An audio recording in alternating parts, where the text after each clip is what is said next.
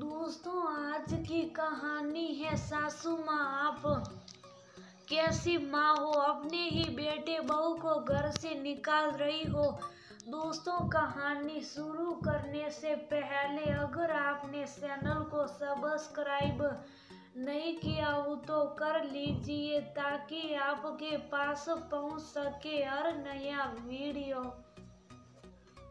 रंजनी जी सुबह उठकर मंदिर जाने के लिए तैयार हो गई।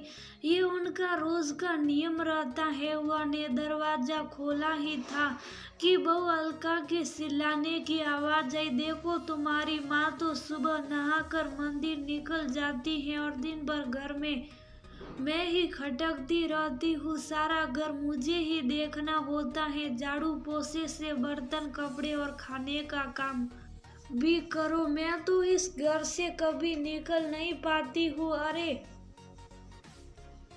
इनका मन नहीं लगता तो कहीं निकल जाए। मुझे तो इनकी ज़रूरत भी नहीं है। तभी मुन्ने की, रोने की आवाज़ आई।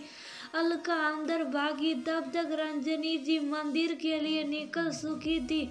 रंजनी जी ने सब सुन लिया था, फिर ये पहली बाहर तो नहीं हो रहा। अलका के सिलाने का रोज यही समय होता था, क्योंकि उस वक्त उनका बेटा शरद भी घर पर ही होता था। अलका ने घर का माहौल ऐसा बना रखा था कि उसमें शांति से रह नहीं सकते थे। रंजनी जी भी थोड़ी शांति ढूँढने के लिए मंदिर ही चली जाया करती थी, क्योंकि और कहीं भी उन्हें जाने की जगह नहीं थी एक ही बेटा शरद है तो उसी के साथ रहना। था शरद भी अपनी पत्नी की हाँ में हाँ मिलाता रहता था और अपनी माँ रंजनी की एक बात भी नहीं मानता था।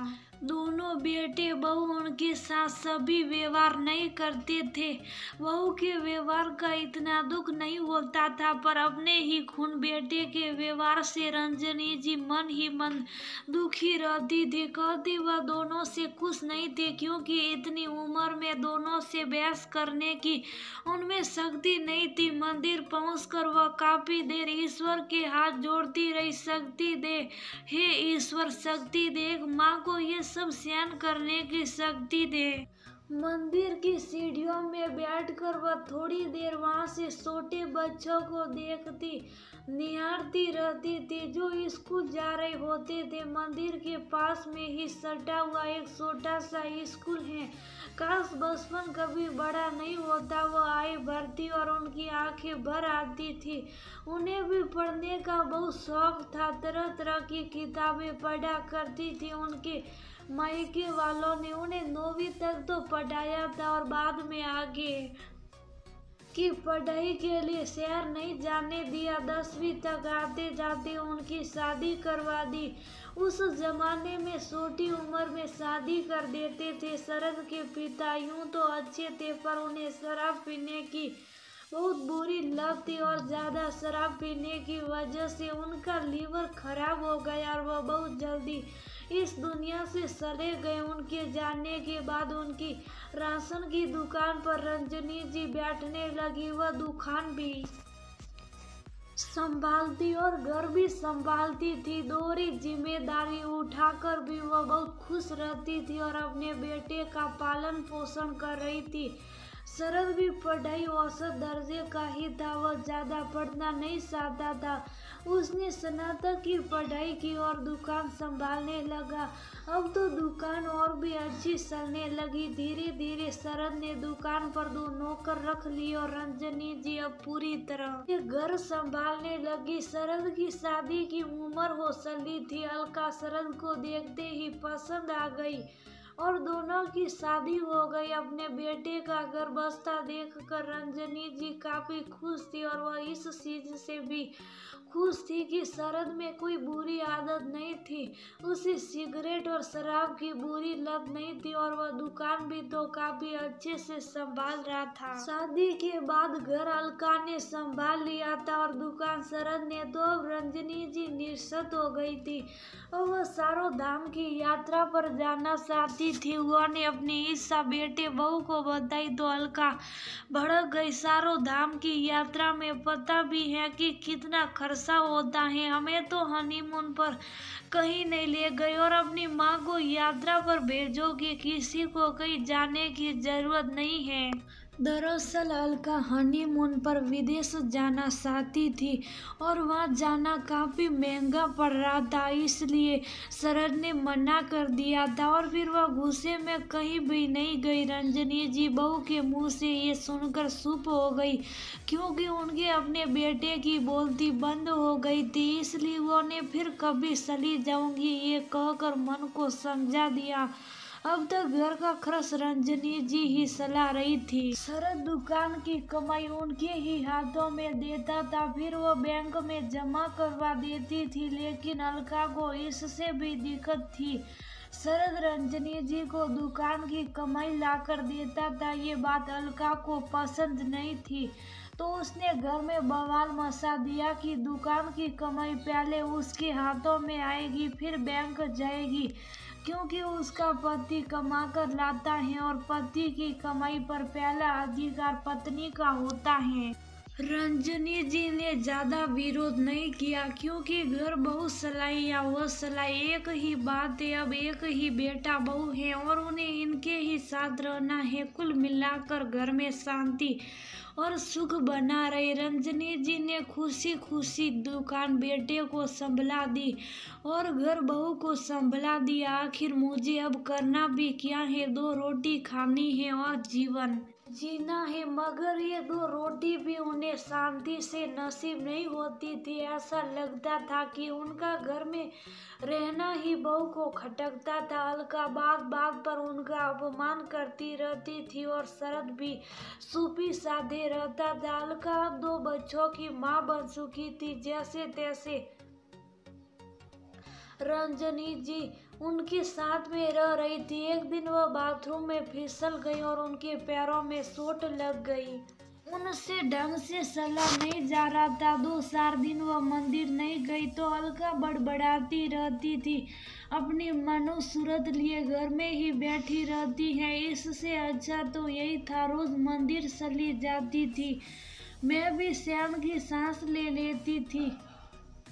बच्चों को भी अच्छा खाने को देती थी, पर इनकी नज़रें तो खाने पर ही गड़ी रहती थी। सुनो, इनका कोई दूसरा इंतज़ाम कर लो। अलका ने फैसला सुना दिया।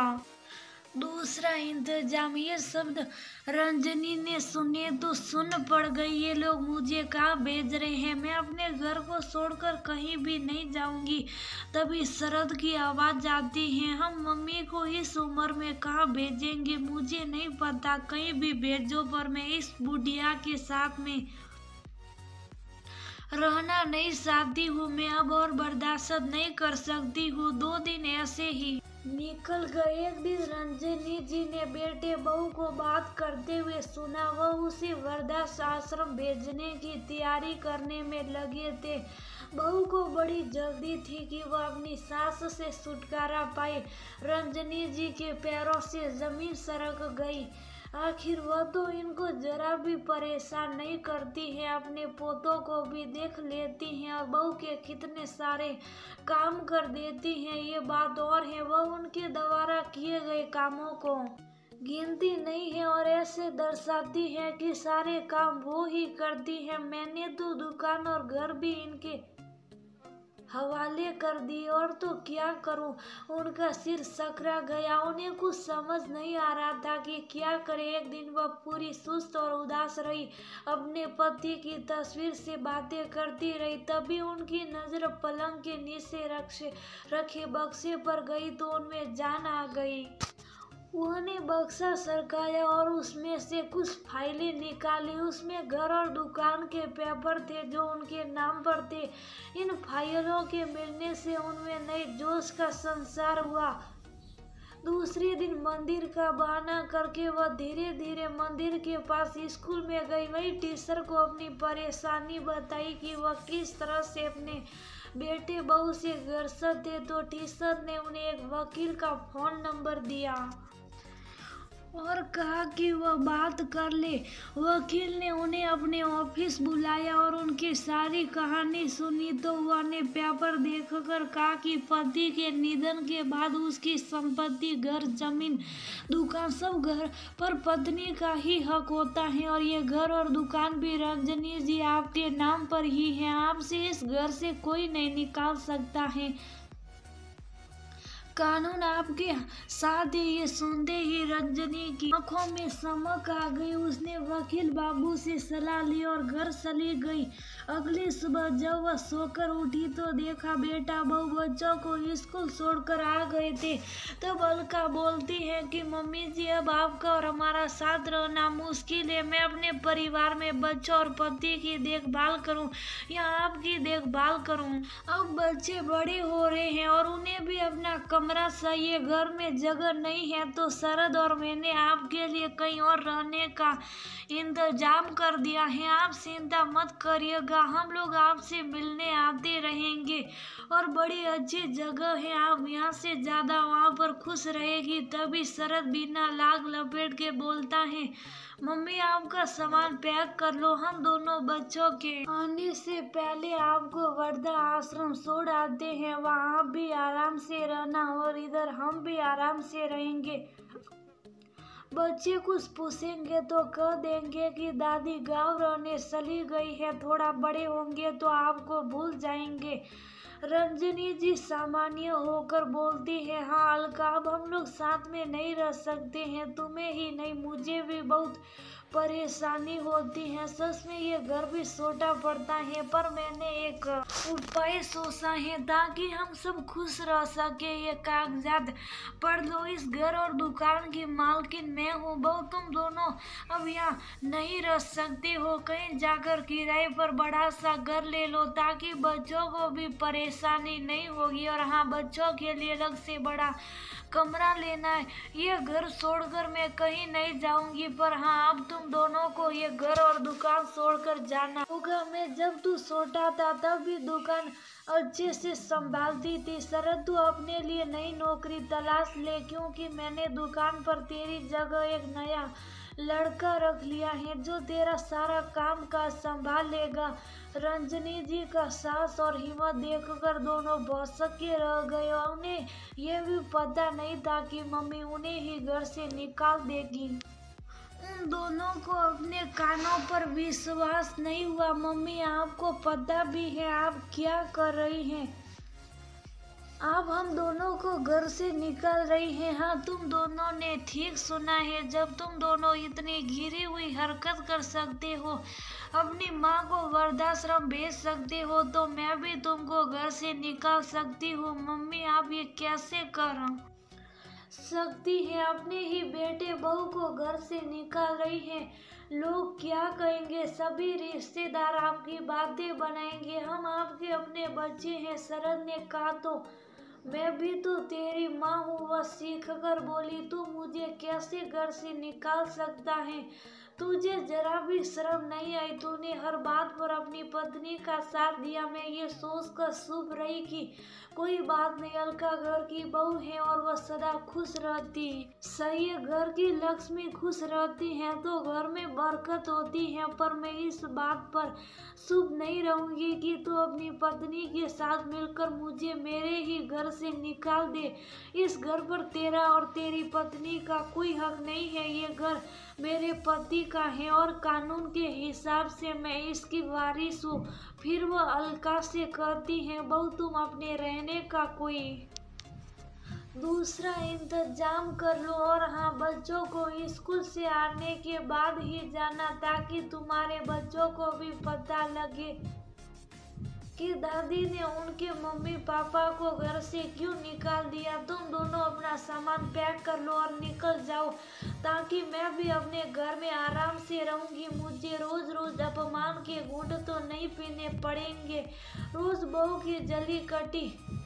और ताने सुनने से बेहतर है मैं यहाँ अकेली रह लूँगी और दोपहर के समय दुकान चली जाऊँगी। और अलका बहू, तू क्या कहती थी कि मेरी नज़रें तेरे बच्चों के खाने पर लगी रहती हैं? अरे तो क्या हुआ बुढ़ापे में हमारे भी खाने की इच्छा होती है और तूने कभी मुझे भरपेट खाना नहीं दिया? ये जो तू खाने का रोग जमाती थी, ये मत भूलो कि ये खाना बनाने का सामान मेरे पति की दुकान से ही आता था। अलका और शरद की नज़रें झुक गई। वो ने माफ़ी मांगी, पर रंजनी जी उन्हें माफ़ ना कर सकी। दोनों अपने बच्चों को लेकर घर छोड़कर चले गए।